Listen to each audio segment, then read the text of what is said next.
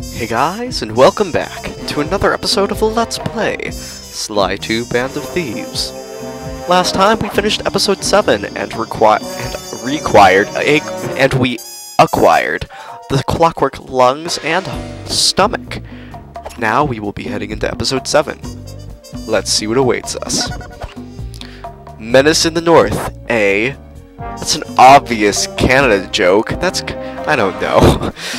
By the way, uh, Canadian. I'm pretty sure Canadians don't say A after every sentence. I have Canadian viewers. I, I know a person Canadian, so... Menace in the North, A.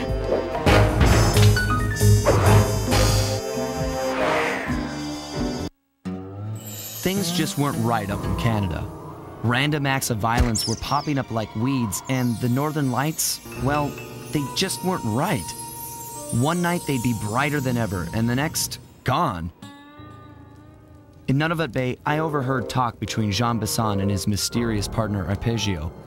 Somehow, those two are behind it all. Tracking the source of the disturbance was easy. By simply following the lights, we were led north to an immense lumber camp. The sheer number of fallen trees advertised Jean Bison's presence and that he was in possession of the clockwork talons. The Thievius Raccoonus makes numerous references to the talons slicing through plates of steel. A skilled lumberjack like Bison could clear a forest in hours while wielding the artifacts. Those talons have got to go, both to finally do away with clockwork and to save the environment from his twisted sense of progress. The world just doesn't need to make space for another strip mall. Sly Cooper and the gang in Menace in the North, A.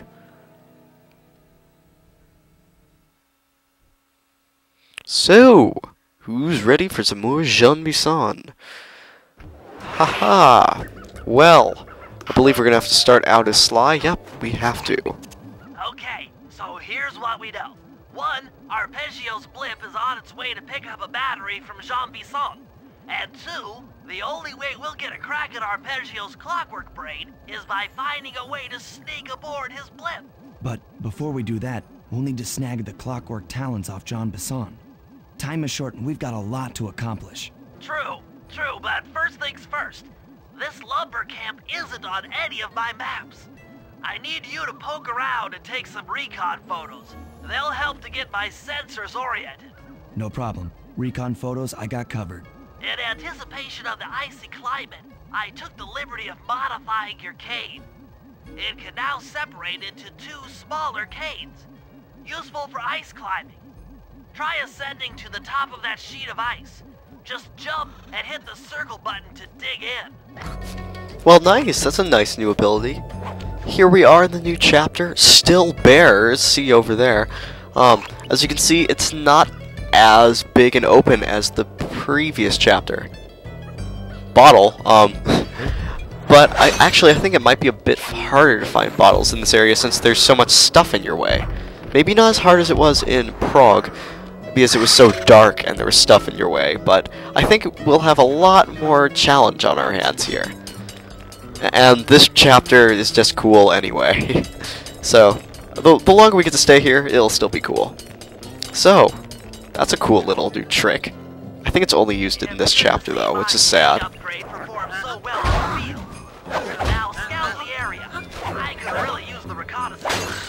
Okay, reconnaissance photos. Well, there's some important stuff around. I'm gonna get owned by a, a bird. Please don't, please don't own me. I don't want to be owned by a bird. I'd rather be owned by myself. Because, you know, it's nice... I, no bird is in control of me. I own myself. Now, what would that be? Oh, that's a bear. I will get a nice, high-quality photo. HD. Real mauling action. oh gosh. Can I get it in a stance of anger? I don't know, that sounds really horrible. Come, come here, bear. Oh, don't punch me. Come on, that was a perfect shot. That was perfect chance for the most amazing shot. No one would have been able to make... I don't know, that would have been the best shot I I don't know. That would have made headlines right there. Man shoots picture of bear super close. I mean, extra HD attack action. Yeah. I don't know. Oh, there's the bear. We'll just get him here while in a safer distance. That one's out in the middle of nowhere. That one looks easy to get. Okay. Bear. That's still a good one. Not the best, though. Country, all right. Interesting. He's putting out a slight radio signature. Those dang radioactive bears. Well, radioactive isn't the same as radio. Yeah, it. Well, not. Well, it'd still be radioactive though because it's sending out radio signals. I don't know, but yes, active radio signals. I don't know, but yeah, strange robo bears. I knew it. Yeah, robo bears. That's strange. Why would John Bassan need a robo bear? I want. Is it like a transformer? Do we have a, the world's craziest tran? Whoa! Jumpman! Oh gosh. Uh. Old style Mario Jumpman here. Okay. Ow. Okay. I don't enjoy being hit by wood. Sorry. that sounded really bad. anyway, if I would please stop getting. Please stop shooting me. I don't enjoy being shot.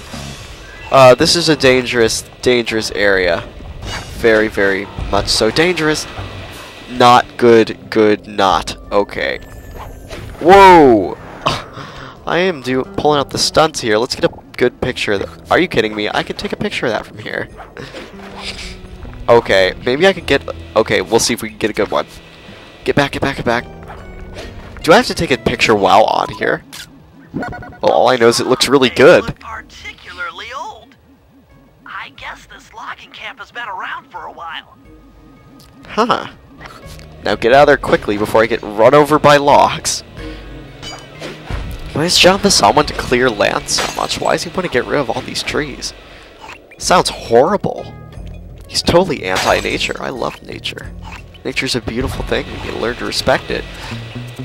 John Bassan's a giant freaking bison, too.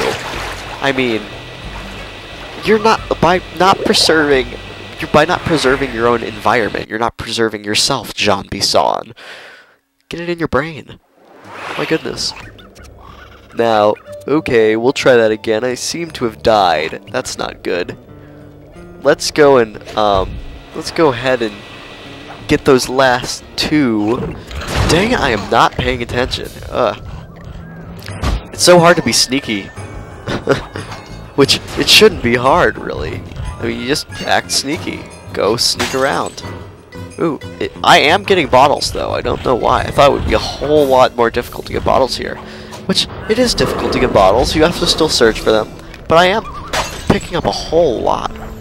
Water wheel. Nice. Nice water wheel. I expect there one.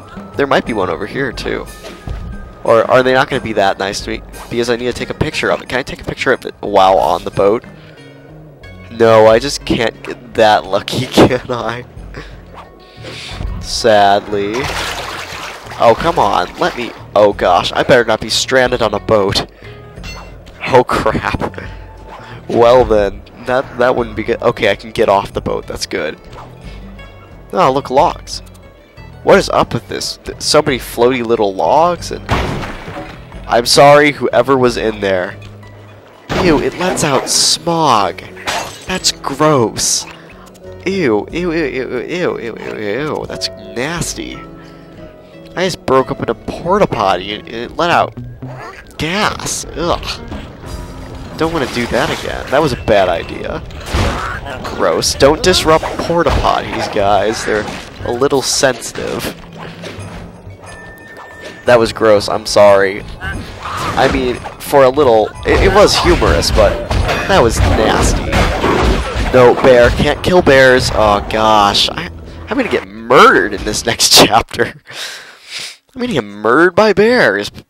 Or Sly is at least. Maybe I can make it to that one over there.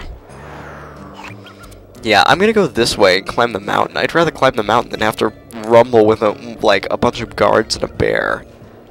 Or a robo bear. It's a super robo bear. This is like porta potty city. There's so many porta potties here. I mean, well, it makes sense because you know we are in like a lumber camp, and someone needs to go. Like, you need to go to the bathroom. Go to the bathroom. Plenty of porta potties around to go do your doo doos, do your stuff in. But it seems like there are a lot of porta potties here. An unnecessary amount of porta potties. I don't know when it gets unnecessary, but it seems like there is an unnecessary amount of porta potties. I'm not one to judge that though, but there are a lot. I'm just stating, a lot of porta potties are here. This is where you want to go if you want to use a porta potty. Now, ah, two more. I thought it was just one more. Oh yeah, I had to take a picture of the boat, didn't I? Ow! You jerk! Oh, I hate you. Okay, thank you for putting me back up here. Would you kindly just fly into one of those? How come the blade didn't kill you? That makes no sense.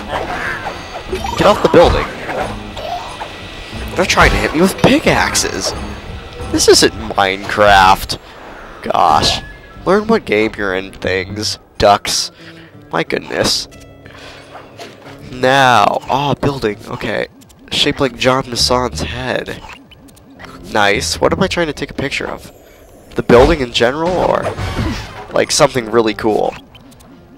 I think it's the head. He's got a big freaking bison head on there, and he's a bison. He's not even. Oh, he's not even preserving his own kind. He's murdering his own species. Look at that. That's ridiculously huge. Ooh, bottle. Nice. Crap. Okay. I sound so gross. I'm sorry. I'm so stuffed up. Yes, there's a house. That's his house? The lair of the beast. The den of evil. The epicenter of ecological destruction. Okay, I'm gonna be gross for one second. Let me cut it. out. I'm gonna cut it out. But here, let me be gross. Okay. I'll cut that out. Because that was nasty. I'm so sorry. Anyway, let's go get that last picture. Dang it, I hate these guys. Uh, I need to use my power-ups more often. That's what they're for. But stop shooting at me. Please. I just want to take a picture of a boat. I'm interested in boats. I'm a boatographer. Which would mean I take photo... Would it? I don't know. That's not really a proper term for one who takes pictures of boats, I don't think. I don't know. Anyway, let's take a picture of that dang boat. Boat. My sensors detect a Wi-Fi link to that boat. It must be piloted by computer. Okay, that should do it. Now for the real point of interest. Head for that lighthouse and try to find a way to sneak in. Oh, the lighthouse? That should be fun. Let's head on over there. Haha. Ooh, will I make it? Yes, I will, because I am pro like that. Wow, it seems... It's really convenient that all these logs happen to float in this pattern that allows us to get over to the lighthouse. Very handy. Another porta potty. Ew. Gross. now, aha, here we go. Let's just go on inside.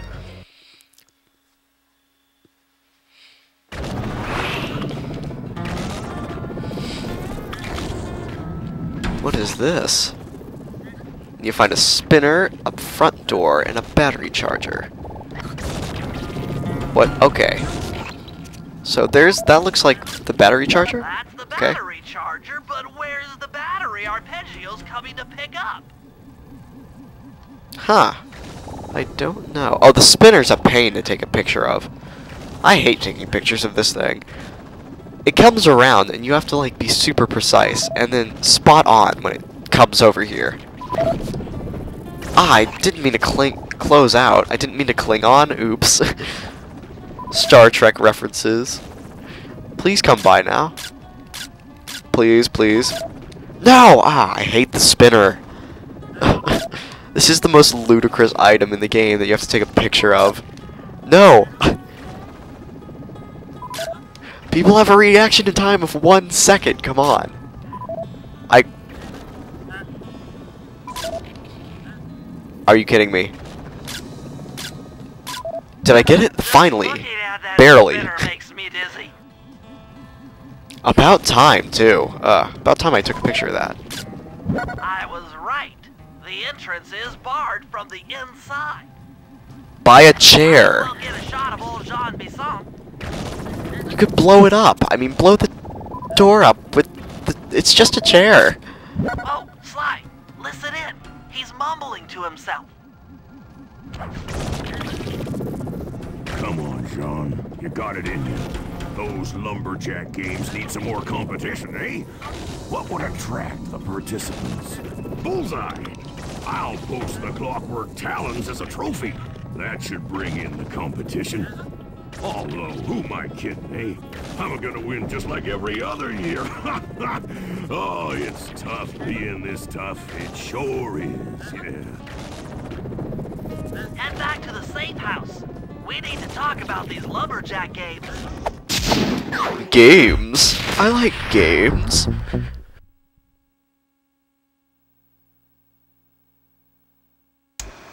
Well, guys, Jean Bison has unknowingly thrown down the gauntlet. With the Clockwork Talons as a trophy, we'd be fools not to participate in his lumberjack games. Fortunately, due to frequent avalanches, a log chopping guide was frozen in a wall of ice not far from our position. Sly, you're in charge of acquiring the book. I'm sure it will prove invaluable. Now, we're all aware that Arpeggio's blimp is coming to pick up another battery. To sneak aboard without incident, I'd recommend we pull a Trojan horse and stow away inside the battery. However, the location of the device is still a mystery. We need some inside information. So, working together, you two will infiltrate the Moose Guard's secret RC Combat Club. Those guys all work in the lighthouse. If you win the battle, I'm sure they'll talk. Despite his antique mind, Jean Bison's no fool. To keep tabs on him, we'll need to bug his house, steal the radio tags off local bears, and then jerry-rig them into a sensor array. It's a challenging set of tasks, and that blimp's on its way. Let's get to work. I agree. I see one flaw in your plan, though, Bentley. How are we going to be in a battery when a battery is normally filled with battery acid? It better be some kind of different battery, or else we're going to get seared to bits. We're gonna. I don't think. Well, let's just hope it's an empty battery or it uses some other kind of power. Anyway, we'll uh, we'll get started with some of the missions in this area in the next episode of the Let's Play Sly 2 Band of Thieves. See you guys later. Thank you for watching, and goodbye.